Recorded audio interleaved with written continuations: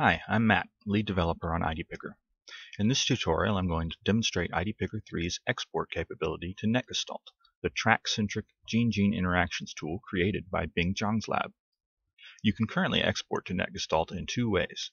You can create a continuous composite track CCT file from the protein view, or a single continuous track SCT from Quasitel. I'll go over each in detail and show how to import it into NetGestalt. The CCT file is created from the export menu of the protein view. NetGestalt will show this file as a heat map of genes versus sources or source groups.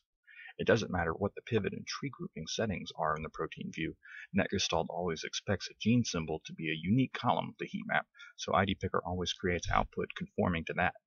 However, you have choices as to what you want your heat map rows to be, and how to fill in the values. These choices mirror the pivot menu. You can use either your source groups or your individual sources as the heat map rows. For fractionated samples, you will want to use source groups. The values or colors of the heat map can either be in the number of spectra, distinct matches, or distinct peptides. You can even export reporter ion intensities from your isobaric labeling experiments. For non-label experiments, you will usually use spectral count. The CCT export menu gives you two options for scaling the data before output.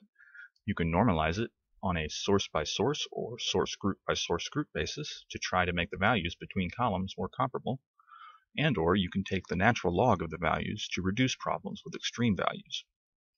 There is also an option to create a track sample information file for your CCT, which helps you create the file that describes extra metadata about your sources or source groups.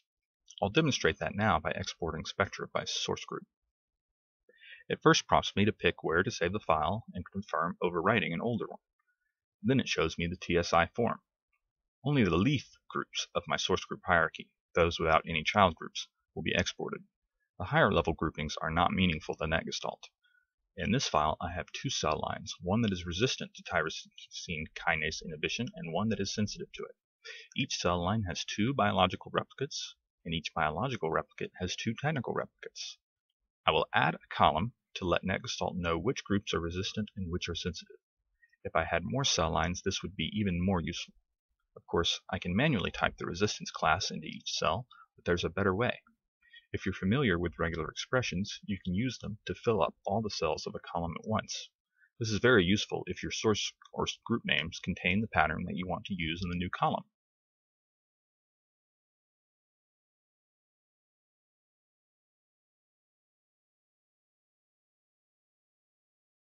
Otherwise, you can use this tool to set the cell values for only the rows that match the pattern.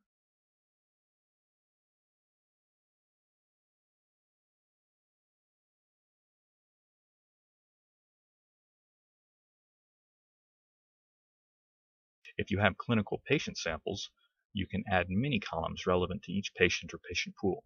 Remember, the purpose of the TSI file is to allow you to organize the rows of the heat map once you get the data into NetGestalt. Now I just hit create and tell it where to save the TSI file, and I'm ready to go to NetGestalt. Now I will import the CCT and TSI files we just exported into NetGestalt.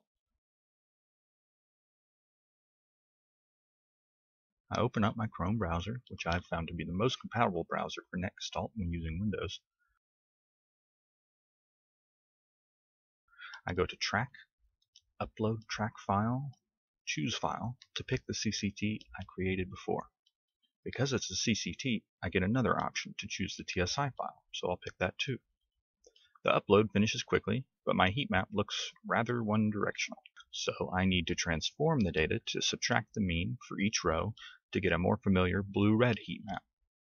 If I zoom in on some sections now, it's pretty clear that one of the resistant biological replicates did not express the same way as the other. There's more you can do in NetGestalt, of course, but this is an IDPicker tutorial. So, check out the NetGestalt tutorials and manual to get an idea of where to go from here. Next up is the SCT export.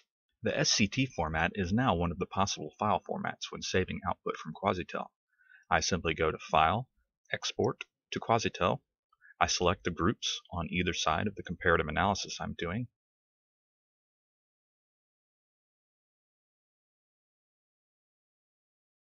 click Compute, and choose SCT as the file format to save to.